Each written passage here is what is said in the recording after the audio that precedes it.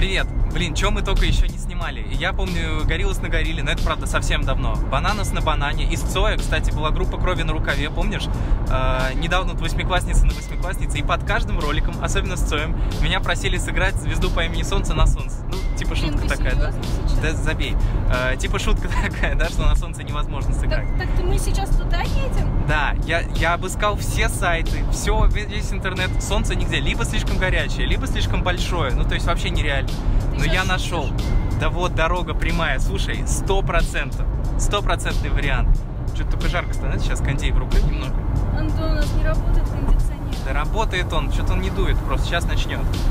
Как-то реально как в бане что-то. Куртку что ли расстегнуть? Что-то жарковато становится. Как-то ярко. Лиз, да ничего, Темнота ё ты реально да? горит. Да, блин, сейчас собьем огонь, кислород. Слушай, Лиз, блин, что это так? Почему так? Лиза! Лиза! Лиза!